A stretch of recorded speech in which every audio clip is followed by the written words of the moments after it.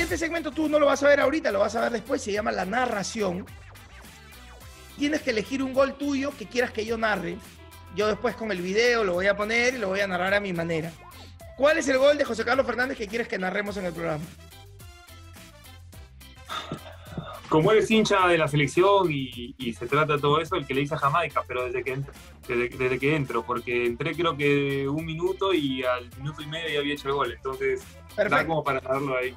Así va, así va, promesa que así va.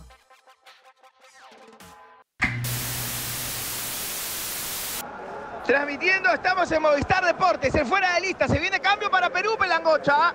Así es, Plomo. Entra José Carlos Fernández y parece que se retira el Rengifo. Efectivamente, ahí sale trotando Rengifo.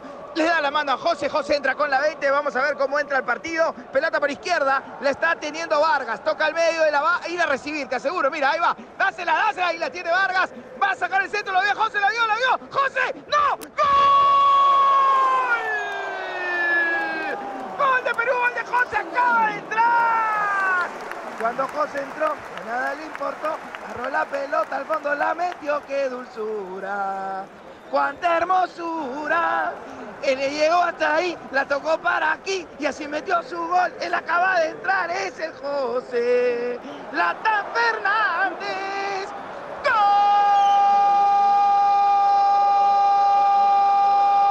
peruano! Comenta la pelangocha en Movistar Deportes. Para eso están los nueve, Plomo. A veces no necesitan entrar mucho en juego para ser importantes. Dale tú en cabina.